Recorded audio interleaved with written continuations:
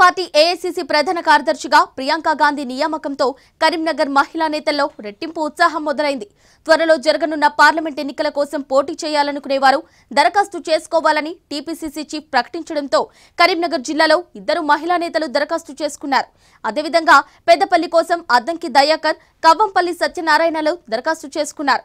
Parliament ఎన్నికలు రానున్న నేపథ్యంలో మహిళా నేతల పోటీ ఏంటో వాటి లోగుట్టులో చూద్దాం.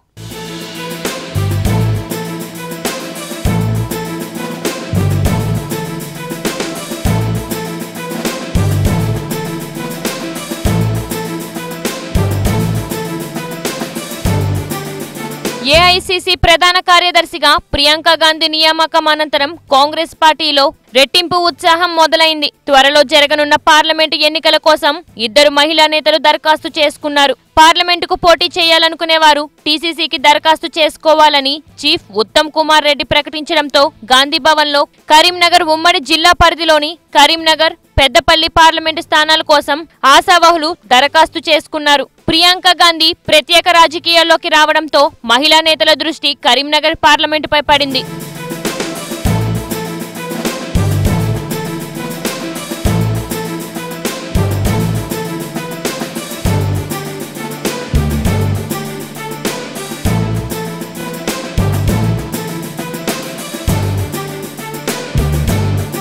టీపీసీసీ మహిళా విభాగం రాష్ట్ర అధ్యక్షురాలు రామడుగు మాజీ జెడ్పీటీసీ సభ్యురాలు నేరేళ్ళ శారద రాష్ట్ర ముఖ్యమంత్రి కేసీఆర్ అన్న కూతురు టీపీసీసీ అధికార ప్రతినిధి రేగులపాటి రమ్యారావులు దరఖాస్తు చేసుకున్నారు.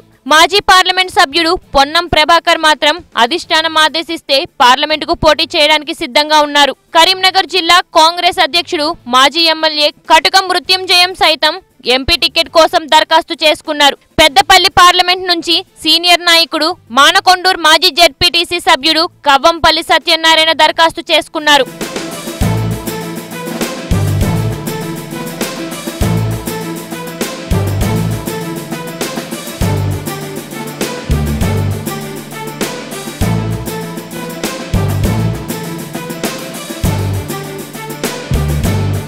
కరీంనగర్ ఎంపీ కోసం దరఖాస్తు చేసుకున్న ఇద్దరు మహిళా నేతలు తమ ప్రయత్నాలను ముమ్మరం చేయాలని నిర్ణయించారు. ప్రియాంక గాంధీ అపాయింట్మెంట్ తీసుకుని పోటీకి తాము సిద్ధంగా ఉన్నామని గెలిచి వస్తామని చెప్పేందుకు సిద్ధమవుతున్నారు.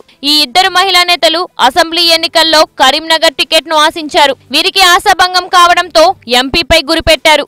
ఎంపీగా మళ్ళీ పొన్నంకు అవకాశం ఎలా ఇస్తారు? మాకే ఇవ్వాలనే నినాదంతో ఎవరికి వారుగా అప్పుడే ప్రయత్నాలు ప్రారంభించారు. ఇద్దరు మహిళా నేతలు పొన్నంను టార్గెట్ చేయాలని నిర్ణయించుకోవడం విశేషం.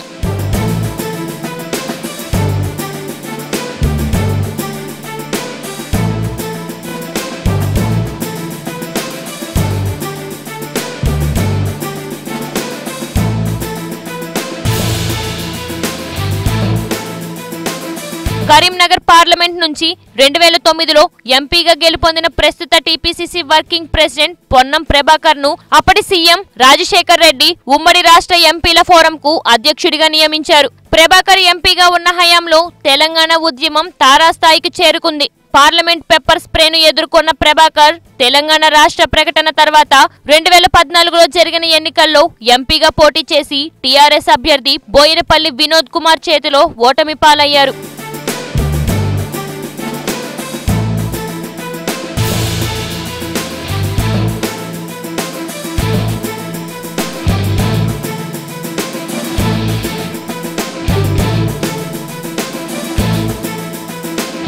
అనంతరం కరీంనగర్ అసెంబ్లీ ఎన్నికల్లో కరీంనగర్ ఎమ్మెల్యేగా పోటీ చేసి టీఆర్ఎస్ అభ్యర్థి గంగుల కమలాకర్ చేతిలో ఓడిపోయారు. ఏది ఏమైనా రానున్న పార్లమెంటు ఎన్నికల్లో కరీంనగర్ ఎంపీ అభ్యర్థిగా ఢిల్లీ అధిష్టానం ఎవరిని నిర్ణయిస్తే వారే పోటీ గెలుపొందుతామని ధీమా వ్యక్తం చేస్తున్నారు. ప్రియాంక గాంధీ ఆశీస్సులు ఎవరికి ఉంటాయో వారికే కరీంనగర్ ఎంపీ టికెట్ వస్తుందని కాంగ్రెస్ పార్టీలో ప్రచారం జోరుగా సాగుతోంది.